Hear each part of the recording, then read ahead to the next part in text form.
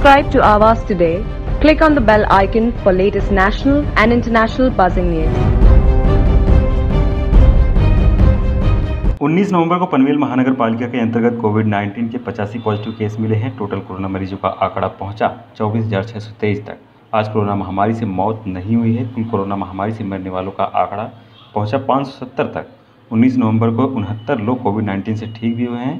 अब तक कुल कोरोना महामारी से ठीक होने वालों की संख्या तेईस हज़ार छः सौ सत्ताईस तक हो चुकी है और पनवेल महानगर पालिका के अंतर्गत एक्टिव केस 226 है। पनवेल क्षेत्र में 19 नवंबर को पचासी कोरोना केस मिले हैं। क्षेत्र व आंकड़ा पीएमसी ने इस तरह दिया है।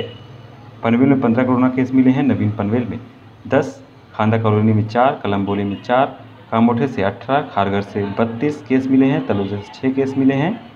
और अच्छी खबर यह है कि कोरोना महामारी से आज उनहत्तर लोग ठीक भी हुए हैं। क्षेत्र व संख्या इस तरह है। पनवेल में कोरोना महामारी से एक लोग ठीक हुए हैं। नवीन पनवेल से 10 कलम्बोली से 5 कामोठे से 14 खारघर से 36 तलोजा से दो लोग ठीक हुए हैं। आवाज़ टुडे, पंकज बेनवंशी की report, Panvel. Subscribe to Avas today.